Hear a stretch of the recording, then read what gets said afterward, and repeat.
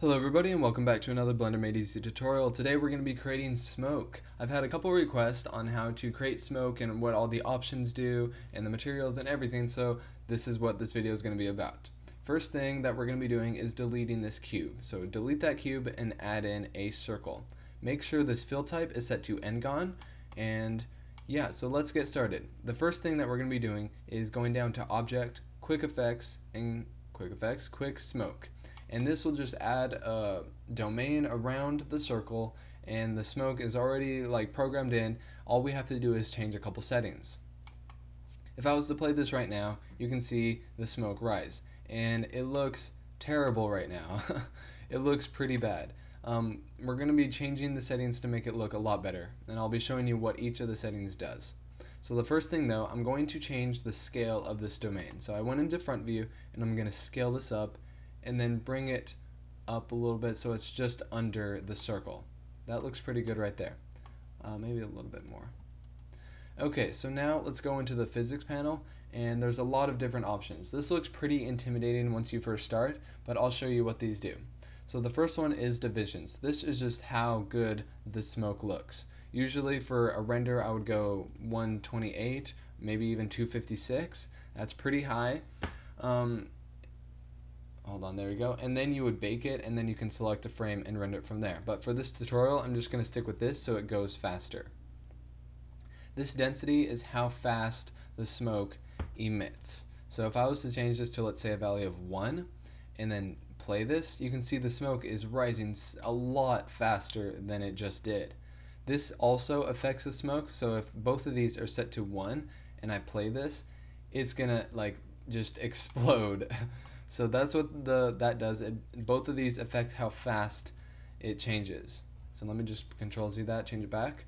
This vorticity is how many swirls are in the smoke. I like swirls, so I'm going to change this to a value of 3. This dissolve, if you turn this on, it'll dissolve once it reaches a certain height. So it's right about here, it'll start dissolving. It won't go up like you just saw. Okay, but I want it to go up, so I'm going to uncheck this. This smoke adaptive domain is this will save you a lot of memory on your computer. And what it does is it I'll just play it real quick. You can see a box appear around the smoke. And right now if we were to bake this this will only be baked. None of this up here will be baked. So if I uncheck that though this entire cube will be baked. And we don't want that. We want to save as much time and memory that we can. So make sure that is checked. The smoke high resolution if you were to check this Right now it's set to a division of 1, and what this does, it just multiplies this by 2. So right now it is at 64 divisions instead of just 32. If I was to change this up, it'll multiply it by 3. So if I was to go 128 like I did, and with a division of 1, it's actually a division of 256, and that's pretty high. So I'm just going to leave this at 32 like I said, and then just leave that right there. If we come down here to the baking cache, this is where we'll bake, and right now it is grayed out. And how we fix this is just by saving our file. I couldn't figure that out for the longest time, but yeah, so make sure you save your file and then you'll be able to bake it. Okay, so there's a lot of the settings. Let's go into the inflow settings over here. So it's flow, and this just this is our emitter. So right now, this surface is where the smoke stops emitting. If I was to change this really, really low, the smoke will stop emitting right here and just kind of move up. Okay, uh, the initial the, the initial velocity is how fast it moves up. So let me just change this to a value of like 50, and you can see a difference. So let me restart this and play. Just give it a second since I added the divisions. There you go. It's running really slow right now. Let me just turn this off and you will be able to see it a little bit better. So turn that off and restart and play. There you go, and it's it just it's like the density and the temperature difference, except it's just the initial explosion of the smoke. So that's what that does. But I'm not going to really need that, so you can uncheck that. This subframes right here, if you're going to animate your smoke, let's say you start, let me just restart so we'll go faster. Let's say you have your emitter over here and then you want it to move over here um, let, us say it's like 10 frames or so. So let's just move it over here. If we if this is set to zero, there will only be a puff of smoke here and a puff of smoke here. There won't be like a trail like you would assume there would be in real life. So make sure you set the subframes up to maybe like a 4. I think that will work well. So if you do that, if you're animating, make sure this is up. The smoke color is pretty self-explanatory. That just changes the color of the smoke. So let's go with a blue, and then you can see it right there. I'm going to go into rendered view so you can see it. It's pretty dark, so let's add some light. So right click on your lamp, and I'm just going to change it to a sun lamp, use nodes, emission, uh, strength of 2, and then you can see it better right there. Good. So I'm going to change it back to a, can I click on this please? There we go. Change it back to just a gray value. Okay, so now let's go into the materials. Right click on your domain and then open up the material panel and go to node editor. So for the default thing, if you were to use quick smoke, it will add this material in. And that's pretty nice because we don't really have to do a lot. Right now you can use it as it is, but I recommend changing a couple of things. So this multiply node, down here, this value is how dense the smoke will be.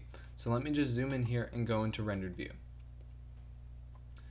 Um, hold on, let me restart because we have we changed the color back to a yeah back to a gray. So I'm gonna pause it right there and go into rendered view.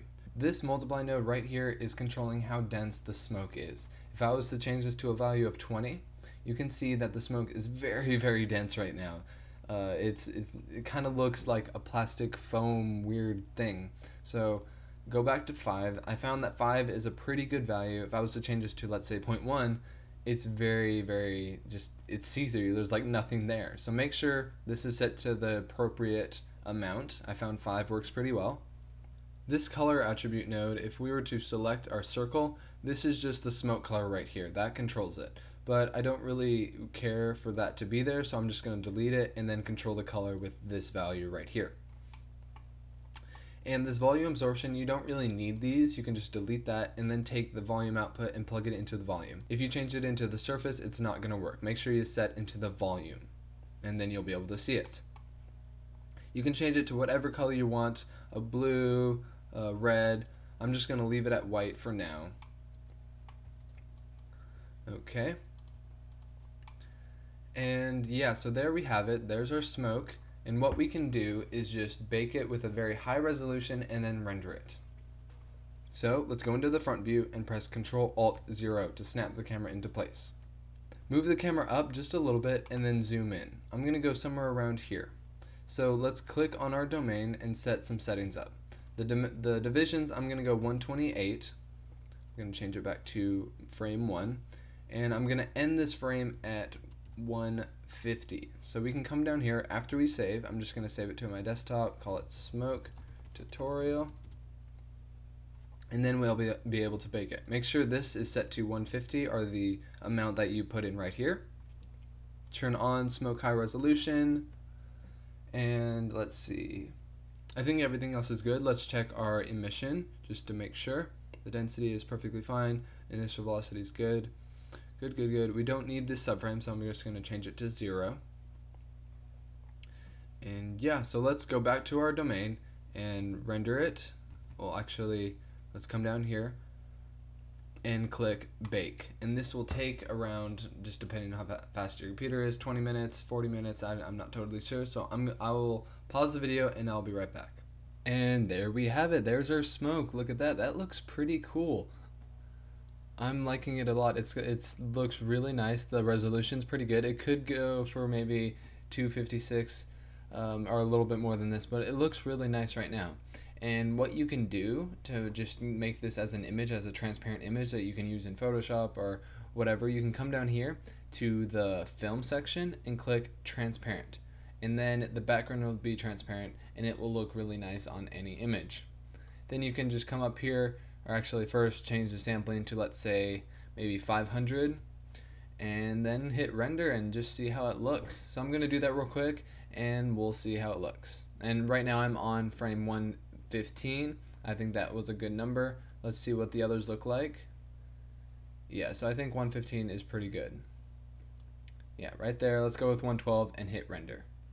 And there we have it. There's our smoke simulation that looks pretty cool. It's the render's done and Yeah, the resolution is pretty decent, and as you can see, if you zoom in, there's there's some smoke right here, but it's transparent, and you can see in the background, and that's how smoke that that's how smoke is. And if you zoom in really closely, you can kind of see some transparency right there. If I move just a little bit, just this just barely you can see it but that's that's really cool i like that a lot and you can use this image for a stock image or put it into photoshop put it on a building whatever you want to do.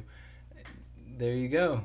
So that was just the basics of the smoke simulation. I might do like a, tutorial where we actually create something with the smoke. I might do that soon. So tell me in the comments down below what you would like to see and i'll see you guys in the next tutorial. Thanks for watching. Goodbye